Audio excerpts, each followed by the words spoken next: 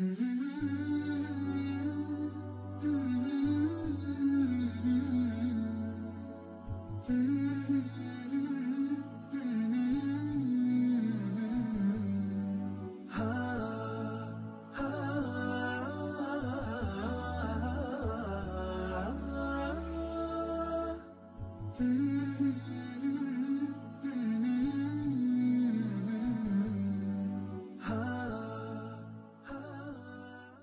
الحمد لله رب العالمين حمدا كثيرا طيبا مباركا فيه. وصل اللهم على سيدنا محمد وعلى آله وصحبه أجمعين. حياكم الله في برنامج فتاوى الأطفال. حلقة اليوم عن أدب القرآن الكريم. القرآن الكريم هو كتاب الله سبحانه وتعالى. وهو كلامه سبحانه وتعالى. وهو منه سبحانه. أنزله على جبريل وبلغه جبريل النبي صلى الله عليه وسلم. فعندما نقرأ كتاب الله عز وجل كأن كأن الله عز وجل يخاطبنا ويكلمنا ويقول لنا هذا أمر يجب أن تفعلوه وهذا نهي يجب يجب عليكم أن تنتهوا عنه.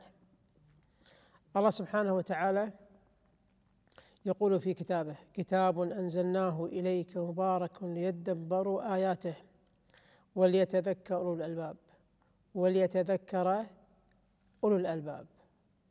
فالقرآن من حقوقه علينا أن نتدبره وتدبر القرآن هو التفكر به والعمل به إذا علمنا ما فيه من الأوامر وما فيه من الأحكام. القرآن يجب أن نقرأه على أنه توجيهات حية تتنزل اليوم وتعالج مشاكل اليوم. هكذا بناتي وعيالي ننظر للقرآن هذه النظرة.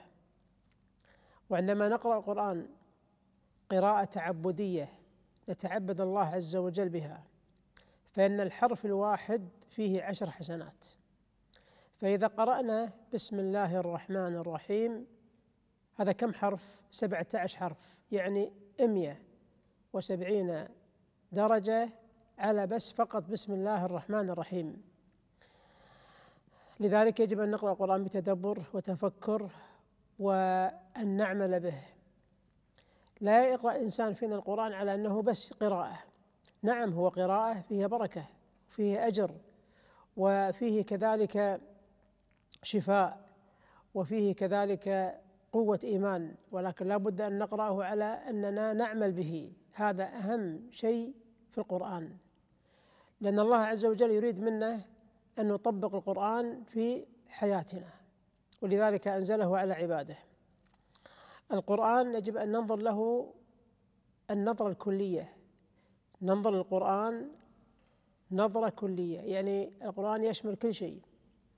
يشمل جانب الحياتي من ناحية فهم هذه الحياة على حقيقتها بأن لها رب أن الله خلق هذه الأرض وأن الله عز وجل هو الذي أوجد الإنسان وأن الله سبحانه وتعالى وفق جميع خلقه إلى هدايته. ونحن من خلقه كبشر. ولذلك نتعبد الله عز وجل بهذا الكتاب العظيم الكريم الذي هو منهج كل مسلم. الله سبحانه وتعالى لم يكلفنا أن نبحث عن منهج. القرآن هو منهج له. تجدون فيه كل الحلول يا عيالي وبنات كل الحلول في القرآن الكريم.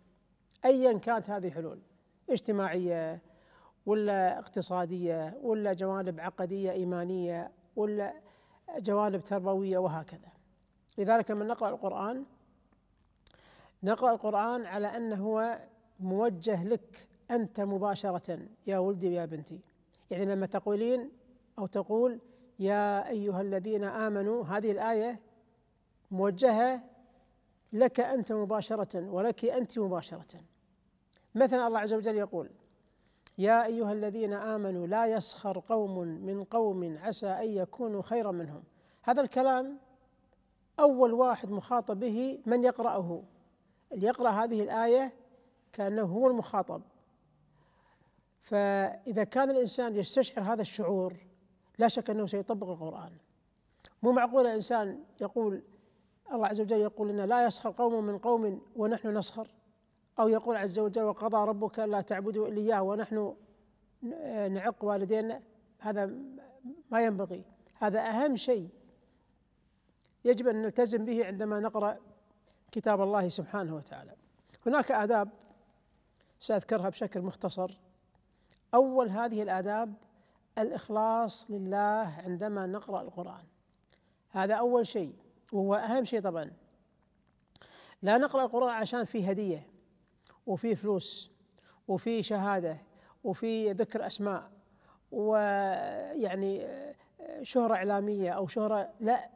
اقرأ القرآن لأن القرآن يجب أن يكون لله ويكون رغبة فيه سبحانه وتعالى وأن الله سبحانه وتعالى يعطينا الأجر وأن الله يحفظنا بالقرآن وأن الله سبحانه وتعالى يجعلنا من عباده المؤمنين الذين يدخلون الجنة. هكذا نفكر. إن جاءت الهدية جاءت. إن أعطونا فلوس أعطونا. لكن الأصل أن نخلص لله سبحانه وتعالى في قراءتنا للقرآن.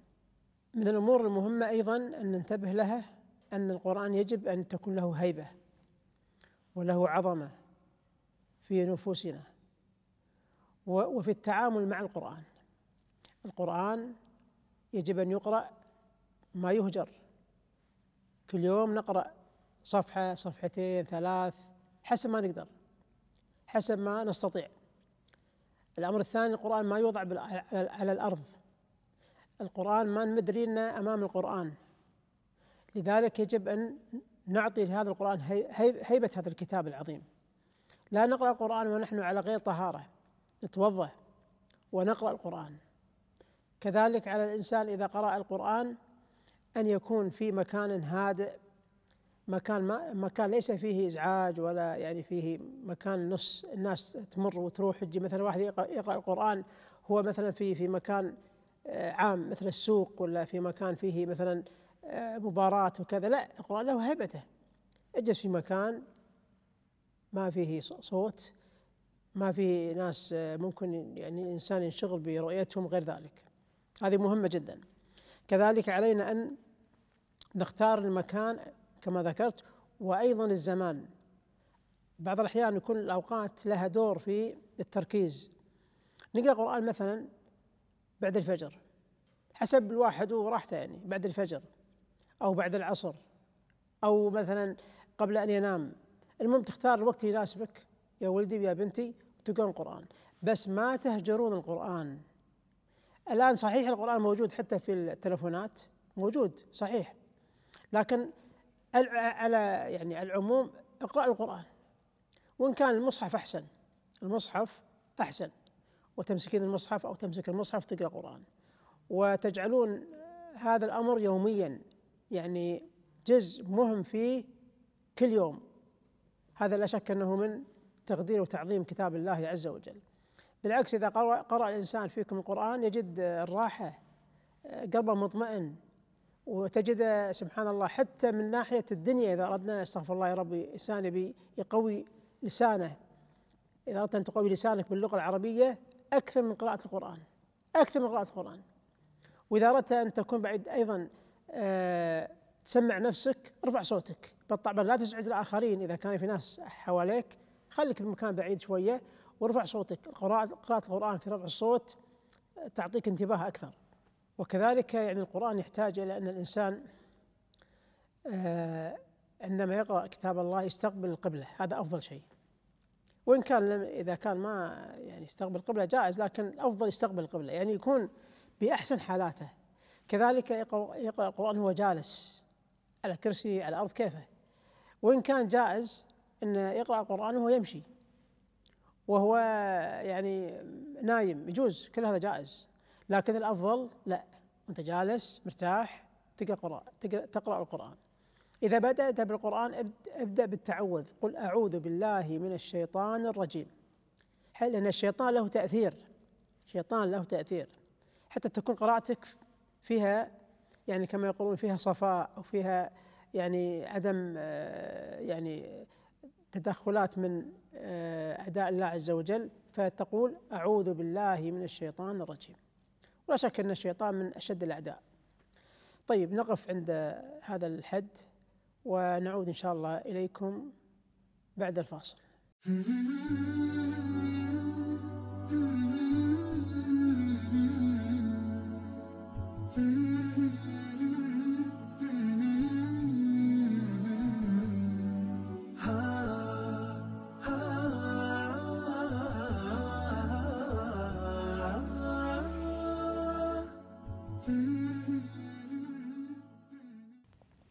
أعوذ بالله من الشيطان الرجيم. بسم الله الرحمن الرحيم.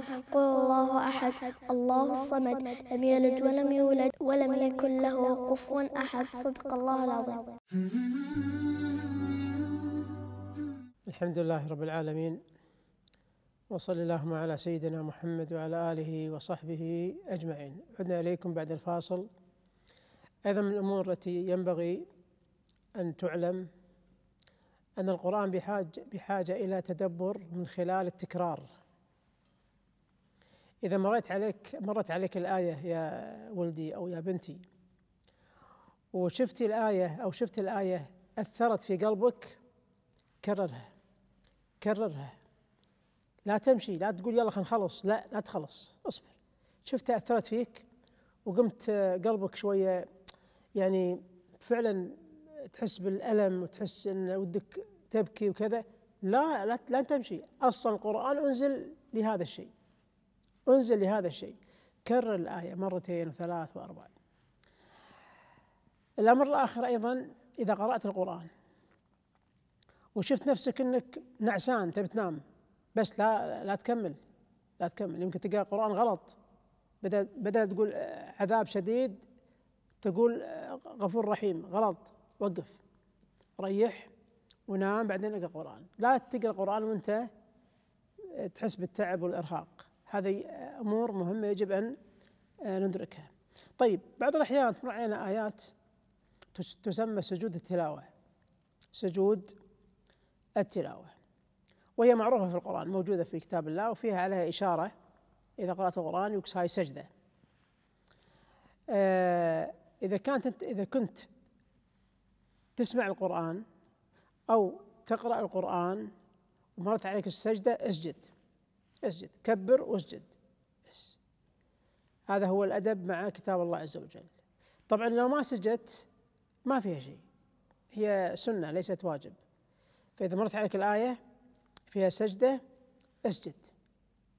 وجاء فيها أيضا إما أن تقول مثلا سبحان ربي الأعلى سبحان ربي الأعلى سبحان ربي الأعلى. وفي أيضا دعاء آخر يعني ذكره العلم ذكره آه، اللهم صل على محمد ذكره في الحديث قال عليه الصلاة والسلام وجهت وجهي للذي خلقه وشق سمعه وبصره بحوله وقوته.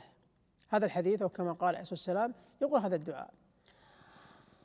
طبعا سجود التلاوة سجود التلاوة تسجد إذا كنت أنت تستمع للقرآن.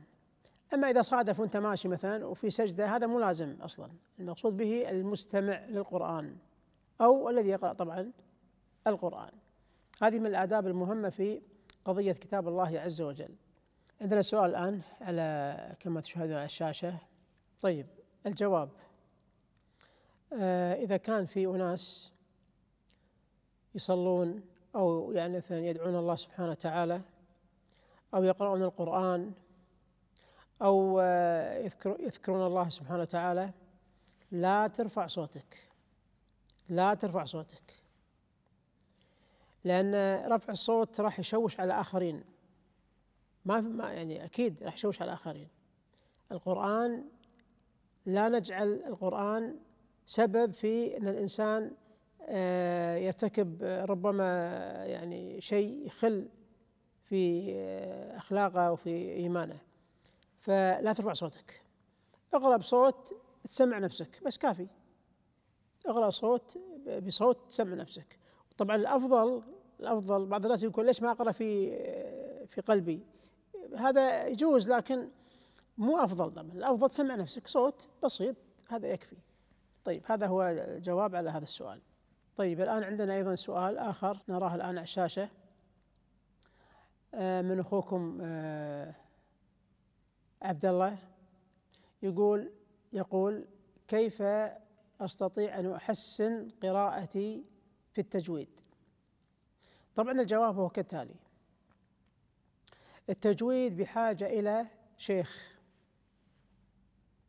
شيخ يلقنك القرآن الكريم.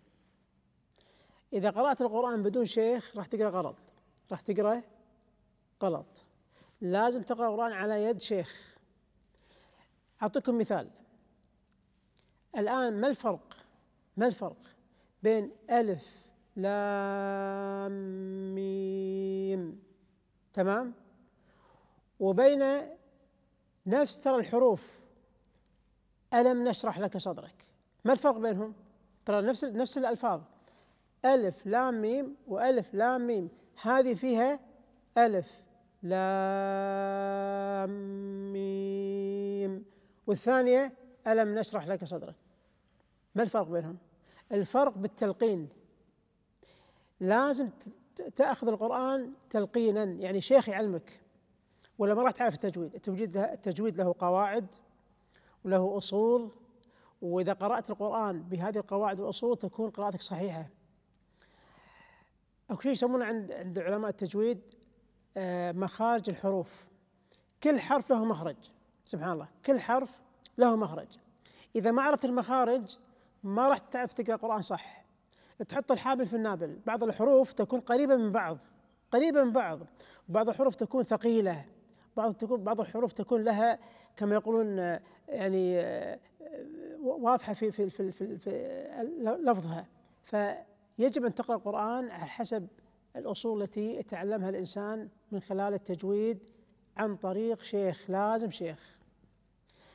طبعا البنت مع محفظة وهكذا. هذا اللي يريد أن يحفظ القرآن أو يريد أن يحسن صوته. وطبعا ترى القرآن بحاجة إلى تحسين الصوت. هذا مطلوب هذا مطلوب. كما كان صوتك جميل أحسن. يعني آه، احفظ القرآن وحسن صوتك. وما فيها صعوبة يعني تحسين الصوت. بالتدريب بالتعقدهم بالمرار مرة مرتين ثلاث مرات تشوف نفسك قرأت القرآن قراءة صحيحة. لكن قبل هذا كله يجب أن تقرأ القرآن قراءة صحيحة. تقرأ القرآن قراءة صحيحة. يعني مو تحط الكسرة بدل الضمة والضمة بدل الفتحة وشيء مشدد تشدد فيه هذا ما يصير. وكما قلت لكم أنا في حلقات التي سبقت في تعليم الصلاة لابد أن ننتبه الألفاظ يجب أن تقال كما جاء بها كتاب الله عز وجل. وهذه الألفاظ ترى توقيفية يعني من الله سبحانه وتعالى تقرأ بهذه الطريقة. وإحنا عندنا في القرآن عندنا يعني عشر قراءات عندنا عشر قراءات. فنتعلم على الأقل لو قراءة واحدة. أغلب الناس الآن خاصة في دول الخليج والدول العربية يقرؤون على قراءة حفص. فنقرأ على هذه القراءة. ولو قرأ إنسان على قراءة ورش وغيره يجوز لكن عموما لنقرأ القراءة التي نتعلمها من الشيخ. هذه مهمة جدا في قضية كيف الإنسان يعني يتعلم التجويد. طيب. في عندنا سؤال الآن على الشاشة كما ترون. آه، من أختكم عايشة تقول هل يجوز أقرأ القرآن أو أضع آه، القرآن؟ آه، وأنا نايمة يعني يعني أسمع القرآن وأنا نايمة؟ طبعا الجواب لا. لا القرآن ما أنزل بالطريقة هذه أنزل للانتفاع وللفائدة وللتفكر. والتأمل. لذلك الإنسان يقرأ القرآن وهو طبعا يكون يقظان ويسمع القرآن ويقبل على القرآن. آه هذا يذكرني بشيء آخر.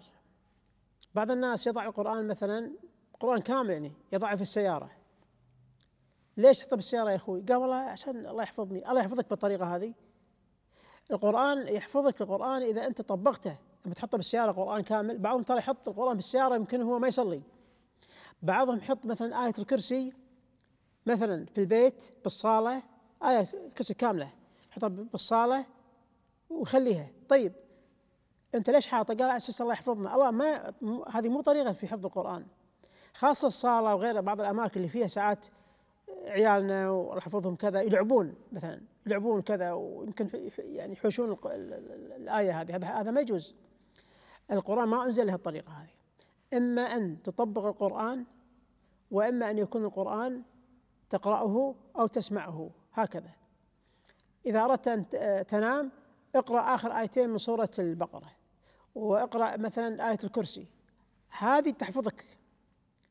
لا يقربك لا شيطان لا إنس ولا جن سبحان الله وتنام وأنت مرتاح. اقرأ آية الكرسي اقرأ المعوذات وارتاح.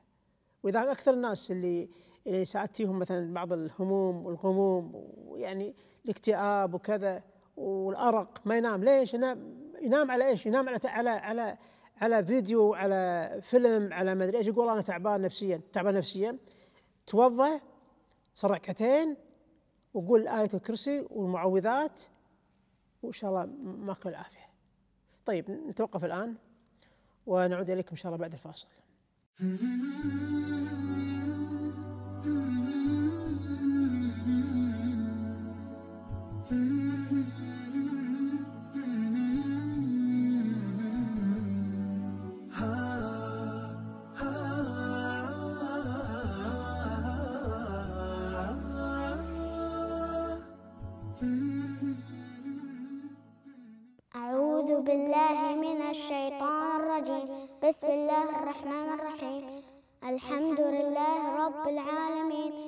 الرحمن الرحيم. مالك يوم الدين. إياك نعبد وإياك نستعين. اهدنا الصراط المستقيم. صراط الذين أنعمت عليهم. غير المغضوب عليهم ولا الضالين. آمين. صدق الله العظيم. الحمد لله رب العالمين. وصلى اللهم على سيدنا محمد وعلى آله وصحبه أجمعين. الآن عندنا سؤال كما تشاهدون آه، هل يجوز أقرأ قرآن وأنا آكل وأشرب؟ هل يجوز أن أقرأ القران وأنا آكل وأشرب؟ طبعا لا يجوز هذا. لا يجوز الإنسان يجعل القرآن بهذه الصورة. القرآن له هيبة له يعني تقدير عظيم كلام الله هذا مو كلام الناس ترى يعني أنت يا ولدي أنت يا بنتي لو الوالد تكلم الوالد تكلم تقاطعين أبوك تقاطعينه ما تقاطعينه عيب أمك تكلمك ما تقاطعينها. طيب هذا كلام الله كلام الله وأنا آكل. حتى إحنا مع أبهاتنا وأمهاتنا ما نتكلم إحنا ناكل حتى الطريقة يمشون لا تقرؤون القرآن إلا وأنتم في حالة يعني مستعدين لاستقبال كلام الله عز وجل وسماع كلام الله عز وجل كلام الله سبحانه وتعالى. هذا هو الرد على هذا الجواب. طيب عندنا أيضا سؤال هو كيف نطبق معاني القرآن الكريم؟ طبعا تطبيق معاني القرآن هو المقصود الأول. هذا هو المقصود الأول. إذا طبقنا معاني القرآن خلاص تم كل شيء. القرآن إذا فهمتيه وعرفتي معانيه راح راح تخشعين. وراح تقرأين القرآن وأنت راغبة فيه بشكل كبير جدا. ما يعني ما ودك أنك تنقطعين عن قراءة القرآن أو تنقطعين عن سماع القرآن. القرآن فيه حكم فيه أسرار وفيه إعجازات عجيبة. أعطيكم مثال يا عيال يا بنات. الآن الفاتحة. الفاتحة. ركن من أركان الصلاة. إحنا قلنا أركان الصلاة 14 هذه ركن. طيب إحنا كل يوم كم مرة نقراها؟ بس الفروض. بس الفروض. 17 مرة. هذا بس الفروض.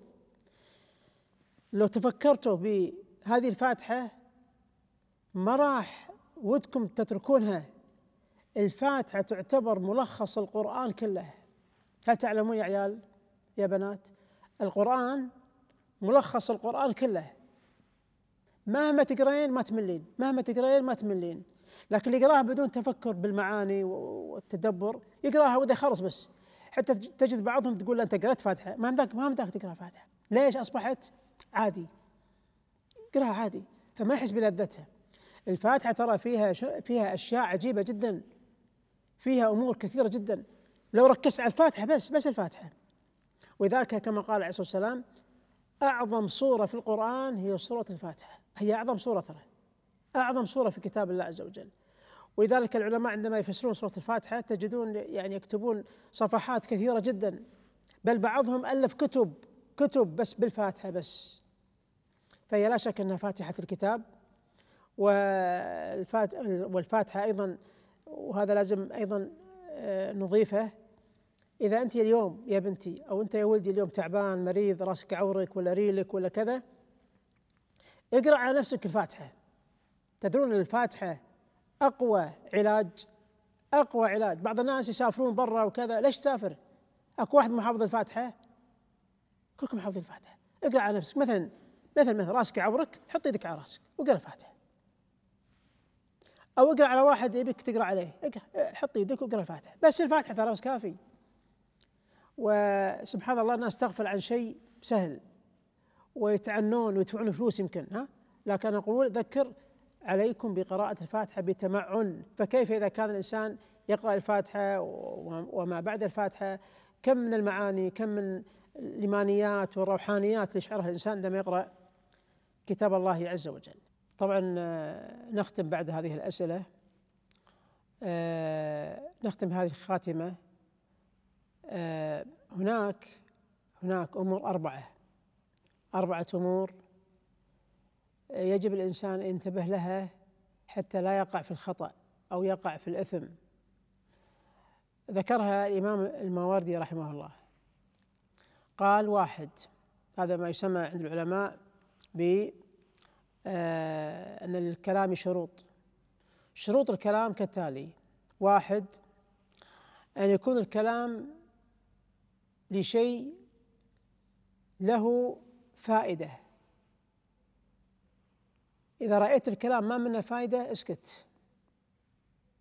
دائما يفكر الإنسان. الكلام له شروط من شروطه أن يكون الكلام لداع يدعو إليه. يعني معنى إما يكون الكلام يأتي بالخير أو يدفع الشر. كما قال عز وجل لا خير في كثير من نجواهم إلا من أمر بصدقة أو معروف أو إصلاح بين الناس. الشرط الثاني من شروط الكلام أن يأتي بالكلام في مكانه في موضعه.